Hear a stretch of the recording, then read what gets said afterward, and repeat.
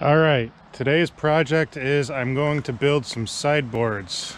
I have uh, this dump trailer that is, my opinion, awesome. I love the thing.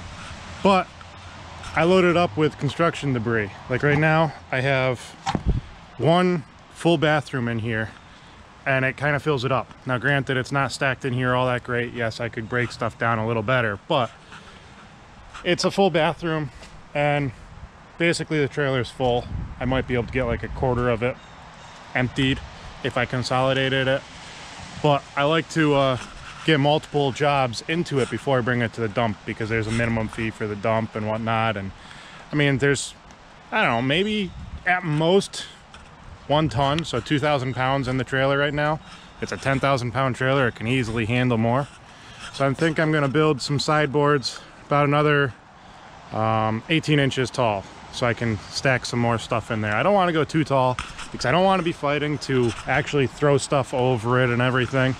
And it's also used for, the trailer is used for like gravel and stone, dirt, firewood. So I'm going to be able to make them so they're removable. They're going to be sitting in some stakes that go into these stake pockets. And then I have, I chose to do composite decking boards. That way I didn't have to deal with any type of rot on the decking and also splinters. One of my old trailers, I used to get splinters and rotted boards all the time, so spent the extra couple bucks, and it wasn't that bad. It was for a 12 foot pressure treated board, it was 14 bucks. For the 12 foot composite board, it was 19 bucks. So I figured it'd be worth it. Everything else is the same.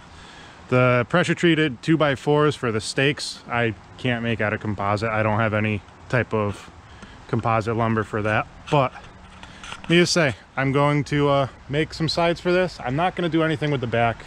I'm just going to make two sides and one front board that is going to go across here to keep everything in. And then the tarp will hold everything in the back. All right. It's going to be a lot of uh, time lapse, but should be cool.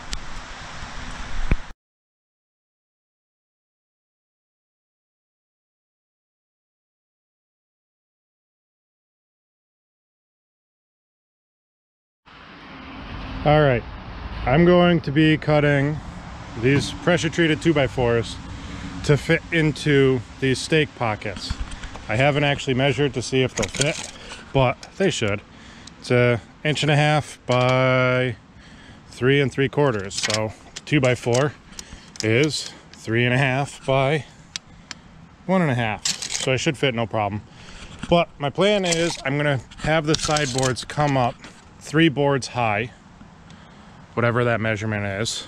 I'm gonna measure it over there in a second, but I'm gonna cut these, whatever those three boards are, plus at least eight inches, I'm thinking maybe 12 inches, to get recessed into the stake pocket to hold it from wobbling and shaking. So if I have these over here, I need both hands for this. If I have all these tight together and I measure, I get 15 and 3 quarters of an inch. So I'm going to cut this. going to cut this 15 and 3 quarters plus 12 inches. I'm not going to do the math for that right now. 12 inches. That makes my overall piece 20, 28 and three quarter, or 27 and three quarters of an inch. So I'll have that and I'm gonna cut them all for all the stakes and then stick them in. Right now they're just gonna fall straight through, straight through because it is open-ended. But when I go to actually do everything I need to, I'll clamp them in place and then screw on as I need to. Yep, I'll just cut all these down. Hopefully I have enough. I don't think I got enough. Eh, we'll see.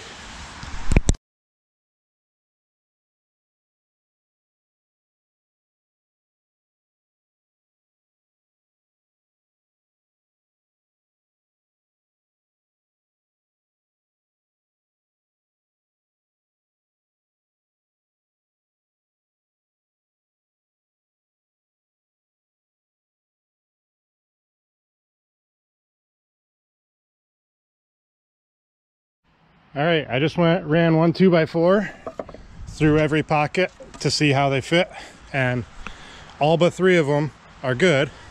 This one has a dent in it, so that's going to require a little force of persuasion. Just beat that back out so this will fit in. But they're supposed to fit like this. Perfect. Up here is the other two that are a little bit of an issue. So these sides are removable, the metal. It, it'll turn into a flatbed trailer. And to hold it together, you have this bolt right in here. So I am going to, instead of having a full 2x4 in this pocket, I'm going to notch it um, where it goes in. So I have to notch about half inch, maybe three quarters of an inch off of this by about 12 inches long. That way I still have a lot of meat in here and a lot of meat above it. And I clear that, that uh, bolt that's in there. That corner over there is the same way. So just do two of these like that. Oh yeah, and I did have enough two by four. I have enough for two more scraps or two more chunks if I have to, but I shouldn't need it.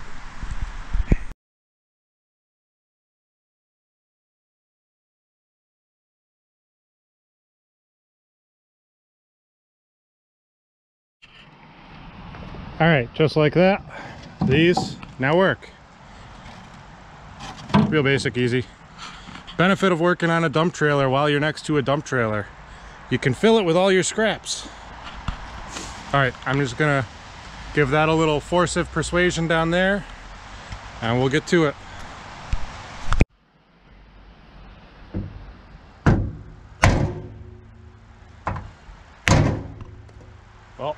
Wood doesn't work, it just splits it.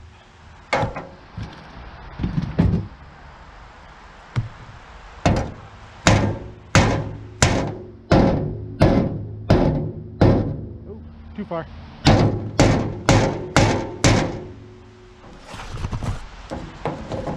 There. Perfect.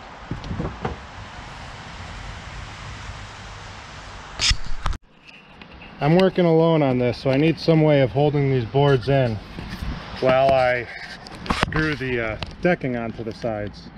So I'm going to try and see what I can do about just setting a screw in so the screw catches the steel and stops it from sliding all the way in. And I'm going to set that screw at 12 and a half inches. And the reason I'm going 12 and a half inches, even though I just said I wanted 12 inches in the pocket, I'm kind of thinking that once I put the decking boards on here, here, and here, I want the decking to overhang the top just like a half inch or so. So I don't see this sticking out, and if I'm putting tarps on and whatnot, it doesn't catch. So I'm just using these screws, stoppers to hold them in place. And let's see if it works. It should. This one goes right here. And the screw just stops right there. That way it holds it. The uh, 15, I needed 15 and 3 quarter for the boards. I have 15 and 1 quarter. That way I have that half inch. Perfect. I'm gonna go around and do all those.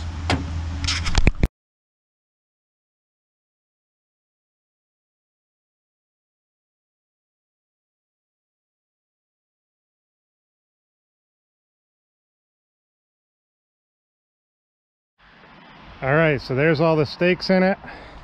Now the next step is to set up the boards. I'm gonna run the boards on the inside of here. That way any type of material or whatever doesn't catch the stakes when it's trying to slide out. But to do that, this is gonna be a little difficult because I'm gonna be doing it alone, like I said. I'm gonna get some quick grips to try and hold it in place. At least that's the theory let's uh let's see how it goes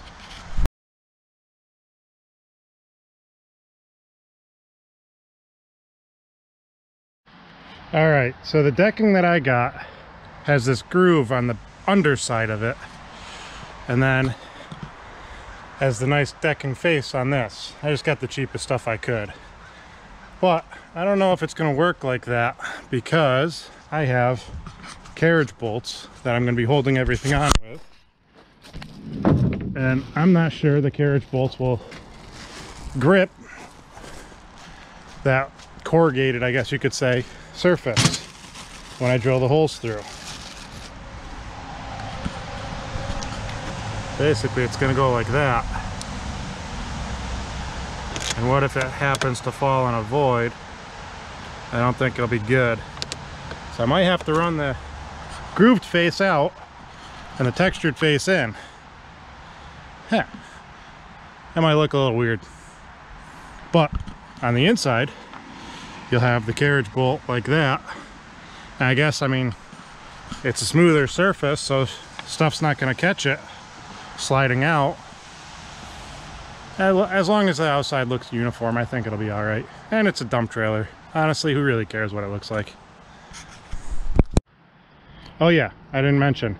So yeah, I got these carriage bolts. I'm gonna be drilling through the board and through the stake into this, this face right here and bolting them together. Um, that's how they're gonna attach. I'm gonna do two, two in every board and every stake. So there'll be one right there, one right there, except it'll actually be this way because the nut and washer will be on this side and the carriage bolt will be on the other side. Yeah. Let's flip this around.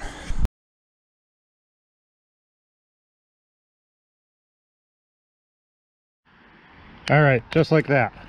So right now I don't have the carriage bolt completely in because the square head on the inside has to get dimpled into the composite so it doesn't spin but even at that that's only going to make that bolt flush and I did that intentionally because I want to be able to um, have the bolts and the nuts recessed inside of these so I don't when you go down the side of it I don't have a, a bolt sticking out that can catch something or tear a tarp or me I'd cut my arm or shoulder or whatever I'd catch something on it and cut myself with it. So now I have to go through take that back out take that back out. I just drilled the one hole. I'm gonna go through with a spade bit after I drill all the holes and just make a little recessed pocket for the washer and the nut to fit inside of. Probably about a half inch deep that's all. And then they'll all be recessed. Perfect. I'm gonna go through and do that now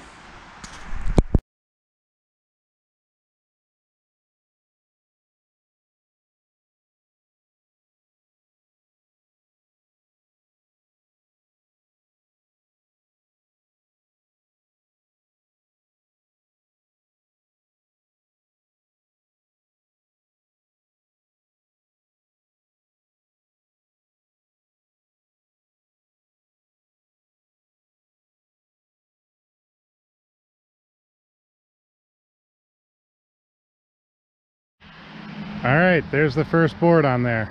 Now I got to do two more on this side three on the other three on the front. A whole lot more drilling. So it's just to be a long time lapse.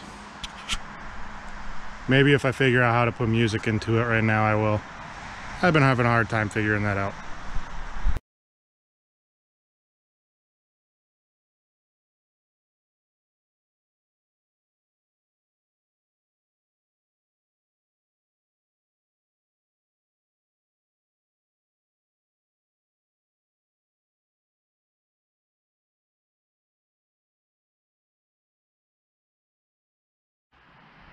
I had to stop the time lapse for a minute, but it's January 18th, I think.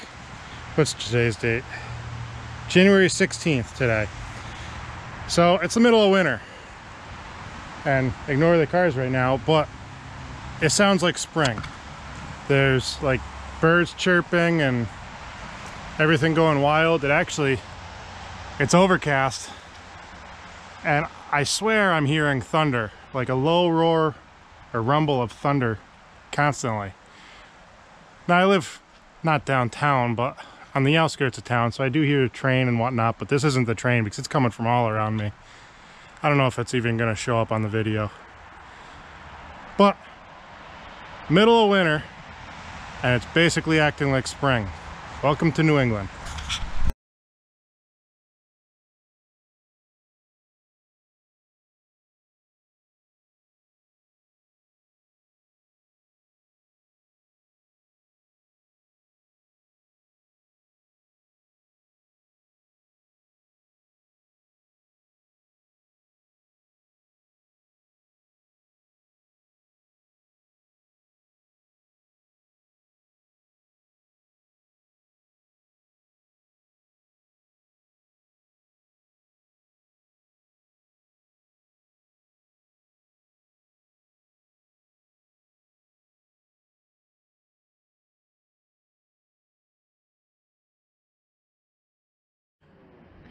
All right, there it is. Looks pretty good. I mean, it's the underside of the decking, but it still looks uniform and good. I know my holes aren't perfectly in a line, these. They're just free-handed, so I know people can do better, and some people might critique it, but whatever. It's a dump trailer. Some of these actually aren't even perfectly square. I tried to keep them as square as possible, just because sliding in and out, if it's crooked sideways like this, it's gonna fight the pocket, but it's good. It would be nice if I was able to get that face out, because that does look really sleek, especially with the uh, the carriage bolt heads in there. But this brand decking, they have the hollow backs. This. I'm not fond of it. I mean, for a dump trailer for sideboards, it's perfectly fine, but I'll never install it on an actual deck. That's a side note, but yeah, it's only rated for 100 pounds per square foot, which is very low considering, say, your average grown adult male man is 200 pounds. If they step all their weight on one foot, they're exceeding that 100 pounds a square foot. But yeah, if I had a solid core, if I wanted to spend the money on a solid core one, without these ribs on it, I could have faced this out so the texture was out. I have some of that scrap over here so you guys can see what I'm talking about. This is solid core. It doesn't have any grooves on the bottom right here. It still has the texture up here. These grooves on the sides are for hidden fasteners and decking, so it doesn't really matter if it has that or not for sideboards, but I would have preferred solid core. All this is uh, stuff that I need to be using for other stuff, so I didn't use that on the trailer. But, yeah, the price difference between that, a 12 foot of that type of material, that specific brand is about $110, $120, where this was, I think I said earlier, $19, $19.50 for a 12 foot board, so significantly cheaper. I'm not gonna put real expensive stuff on here that's just gonna get beat up by trash. But yeah, I'm gonna clean up some. I'm gonna throw the tarp back on it. And uh, I got a solar battery tender for it. So I'm gonna clean up this area, but I'm gonna mount the solar charger on here, battery tender on here. So I'm gonna figure out how to do that. All right, here it is. I got the tarp on, all the sideboards on. I got the solar charger on. I didn't record any of that. I'm not an electrician. I didn't want to get made fun of too bad. It's, it works, but yeah, actual electricians, which my buddies, they'll make fun of me when they see it. oh well, but yeah, works out good. Can't wait to start using it. Let's go around the back, show you how much more space it actually gives. The tarp right now, I won't even focus, it's too dark, but the tarp is sagging in, which is a good thing. That means I have plenty of space to fill up. Awesome. Alrighty, on to the next.